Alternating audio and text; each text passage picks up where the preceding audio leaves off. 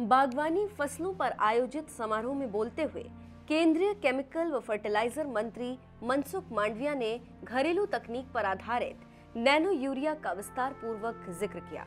आज मैं कहूँगा कि विश्व में urea fertiliser, nitrogen fertiliser 100 million tonne का कंजप्शन दुनिया में होता है। उसमें से देश में कुल मिला के तीन लाख मैट्रिक टन का हमारा कंजप्शन है। यानी कि दुनिया की कुल जरूरियात का 35 परसेंट कंजप्शन यूरिया का इंडिया में होता है। उन्होंने कहा कि सरकार जन औषधि केंद्र के तर्ज पर देश भर में जन उर्वरक केंद्रों की स्थापना करेगी। जल्द ही भारतीय जन उर्वरक योजना लॉन्च करने की बात कही।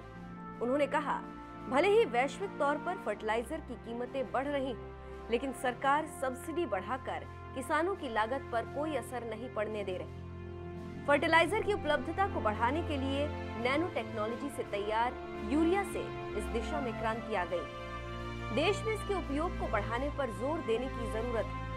उन्होंने कहा कि फर्टिलाइज़र की उपलब्धता बढ़ाने के लिए नेटवर्किंग को मज़बूत बनाने पर बल दिया जा रहा है। इसके लिए देश भर में मॉडल आउटलेट बनाए जाएँगे, जिसे जल्द लॉन्च किया जाएगा। देश भर में एक देश, एक उर्वरक पद्धति योजना लागू की जाएगी।